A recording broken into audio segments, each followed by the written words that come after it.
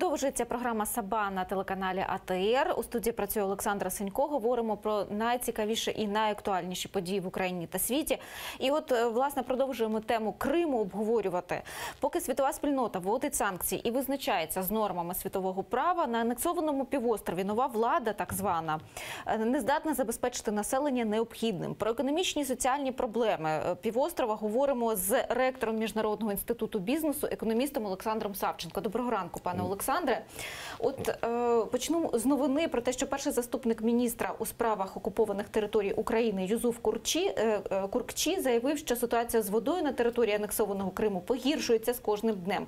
Про це він повідомив на брифінгу е, брифінгу в Херсонській ОДА. Ситуація з водою на території окупованого Криму погіршується з кожним днем. Окупаційна влада за великим рахунком вичерпала вже весь ресурс своєї креативності для того, щоб вирішити е, цю проблему. Це показовий приклад того, що поки що Крим зазнає економічних втрат. Власне кажучи, яких? Давайте ідентифікуємо, що ми маємо під словом Крим. Люди Крима, російська влада, російські війська. Е, І тут треба розкладати, е, хто втрачає. Ну, давайте візьмемо людей. Що змінилося і як живуть зараз кримчані? Е, Середня заробітна плата в Криму зараз е, приблизно 19 тисяч рублів. Щоб перевести це на, на одну людину.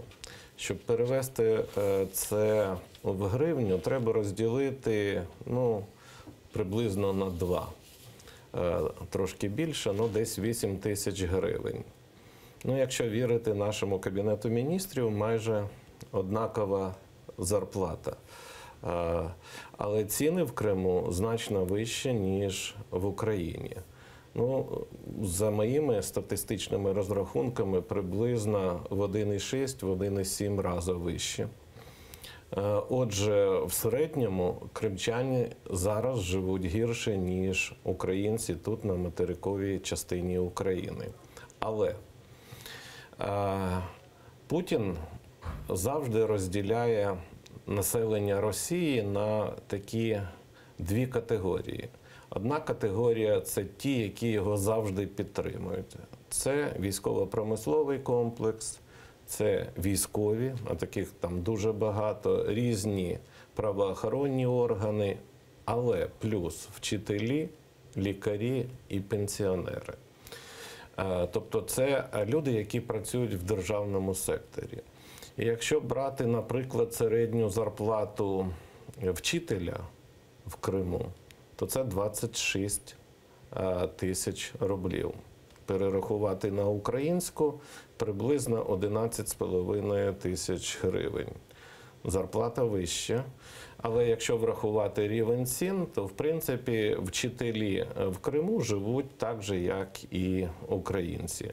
Ще вищі зарплати у різних правоохоронних органах. Ну, е, якщо брати приватний сектор, то там дійсно він деградує, там іде повна а, а, дискримінація самозайнятих людей, малого бізнесу, громадських організацій.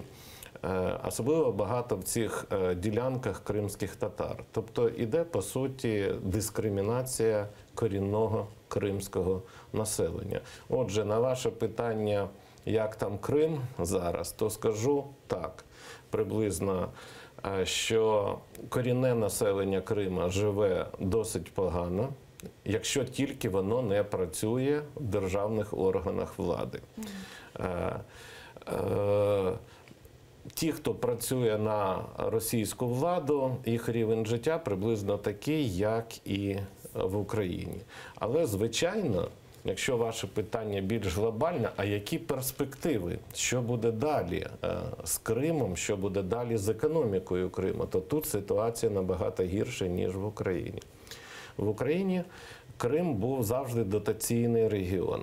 Е, Я е, так кажу, що Путін відрізав від е, України два дотаційних регіони: Донецьк, ну частину Донецька і Крим. Та самий е, дотаційний регіон був Донецьк. Е, Тому що там дуже багато крали е, місцева влада, плюс уже і центральна влада в особі Януковича. От всі дотації, які йшли шахтарям, по суті, вони розкрадалися. Е, В Криму ситуація була зовсім трошки інша. Він був в два рази менш дотаційний ніж Донецьк, але приблизно на 80% Крим покривав свої витрати з ВВП, який він створював на території Криму. А це було сільське господарство, торгівля і туризм. Туризм стояв на першому місці. Ну, звичайно, були і промислові об'єкти. Вони і зараз, до речі, працюють. Е, Власники там українці, але працюють на Росію. Отже, які перспективи? Які перспективи зараз? Перспектив дуже мало. Я вже сказав, були, пам'ятаєте, 20 і 80. 80 Крим робив сам, 20 отримав. Зараз ситуація з точності до навпаки. Де 80% кримчані отримують з бюджету Росії. Чому? Тому що по суті була. Е, Ну, був вбитий приватний бізнес. От приватне будівництво, приватні е, такі готелі, готельчики, вони ще є, але їх прибутковість набагато менше, тому що туристів менше. Ну і взагалі в Росії е, більш жорстке податкове навантаження. І нарешті, оце ключове питання, яке ви сказали: а що робити з водою? Адже ми пам'ятаємо, що в Криму за часів України, коли Крим був частиною України, сільське господарство було галузю номер один. Там знімали по два врожаї. Е, Була е, напружена, але було постачання води з материкової України. Зараз ситуація змінилася. В Росії за 4 роки ви- висмоктали з артеріанських скважин майже всю воду і починається заселення. Ну, селеніння, так скажемо. Почва стає солоною, води стає менше.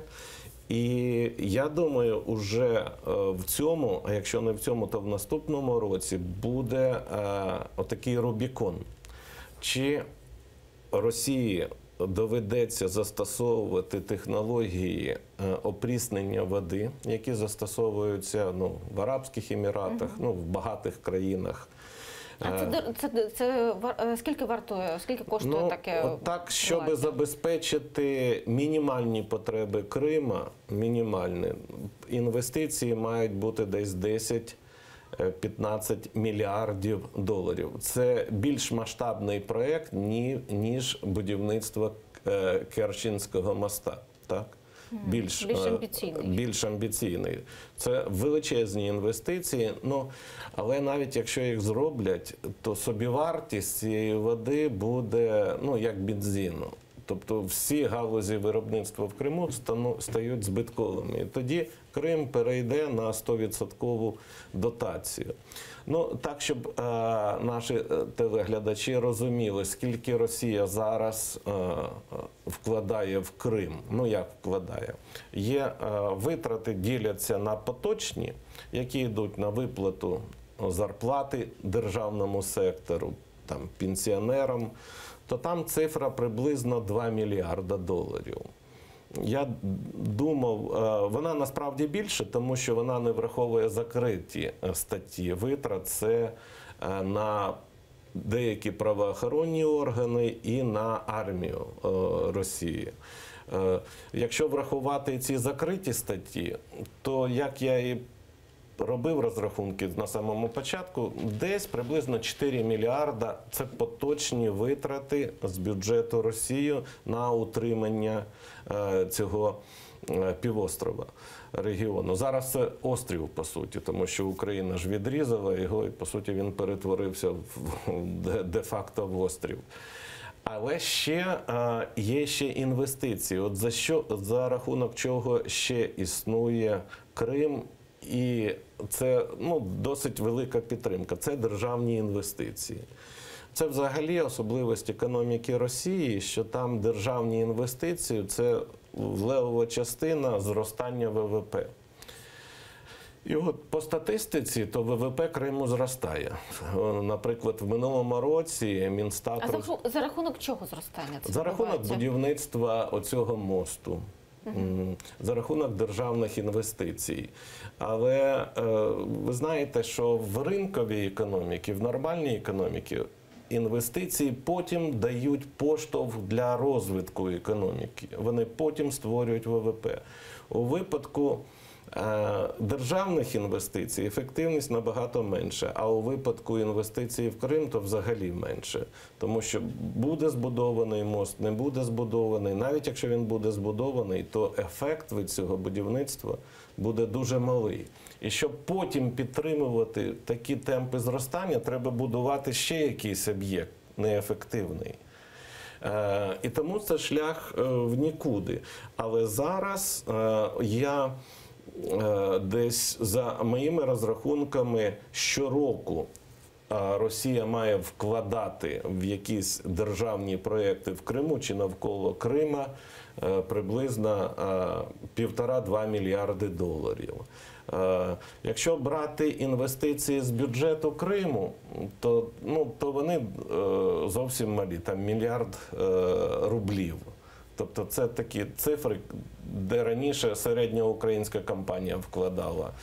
Е, Отже, є цілковита залежність зараз півострова від е, політики Кремля. Ну от оце така ситуація з економікою. Ну, звичайно, нам, нам цікаво інше, да, е, що робити Україні. Да? На І- е, по-перше, що робити Україні, і ми е, з попереднім гостем дуже щільно обговорювали тему санкцій. От пане Олександре, як ви вважаєте, от ці економічні санкції, які за різними оцінками вони діють, але діють там інші кажуть, що вони діють недостатньо. Насправді, як вони впливають на економіку самого Криму, тому що ви вже зазначили, що і малий бізнес, і середній бізнес, і промисловість е, знаходяться потерпають. у І сільське потерпають. І господарство особливо. Особливо Воно сільське. зживається, здувається. А е, санкції неефективні, скажу прямо. Провина є е, в основному України. Україна не фіксує чисельні порушення санкцій. Чому? Е, Нездатна корупція, м, домовленості є. Хто порушує? Ну, якщо банківський сектор, в принципі, там порушень дуже мало. Чому? Тому що американці фіксують всі транзакції, наприклад, візам е, там не ходить, MasterCard не ходить, банки не працюють. Там американці стежать. А от е, постачання обладнання європейськими компаніями продовжується. Особливо німецькі компанії, ну, в принципі, обходять е, санкції. Це і Siemens славно відомий, це не лише звичайно. турбіни, там і медичне обладнання, це МАН компанія така. І українська дипломатія, скажу, ну тут і ефективність дорівнює нулю. Е, В будь-якій іншій країні ну, були б уже під мікроскопом всі поставки е, заборонені е, в Крим.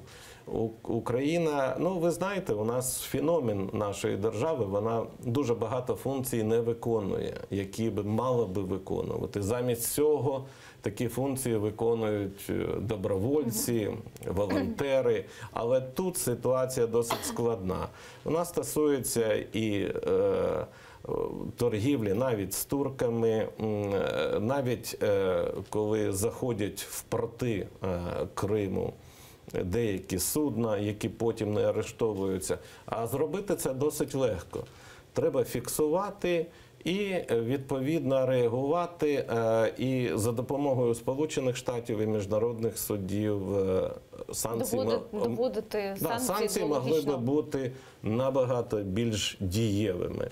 І це провина виключно а, української сторони, тому що ми бенефіціари е, цих санкцій. А європейці вони втрачають від цих санкцій. І відповідно, е, я не е, здивований, що, наприклад, уряд Німеччини не дуже сильно пильнує за своїми компаніями. депутатами, принаймні депутатами, Ну, і деякими, які туди їздять. Е, Принаймні, ми е, поки що втра- втративши Крим, втрачає і Україна, і сам Крим, і ну на, насправді і Росії поки що не вдається показати е, і прихильникам Крим нашого е, квітучого успішного Криму теж не вдається показати. Поки що втрачають всі. Е, Про це ми говорили з Олександром Савченком, економістом, ректором Міжнародного інституту бізнесу. Дякую, що долучились до нашого ранку. А сьогодні я нагадую ще раз е, нашим глядачам, що на телеканалі е, е, АТР відбувається спільний інформаційний марафон з телеканалами Еспресо та ЮАЙ Суспільне, присвячений чотирьом рокам анексії Криму. Провідні політики та експерти приходитимуть у студію до найвідоміших журналістів з Криму. Найнагальніші теми, найгостріші питання будуть озвучені сьогодні з 15 години. Слідкуйте і долучайтеся до нашого інформаційного марафону, щоб знати про те, що насправді відбувається у Криму сьогодні, і що насправді робить Україна для того, щоб повернути Крим до себе. Всього найкращого. Дякую, що були з нами. Гарного вам дня.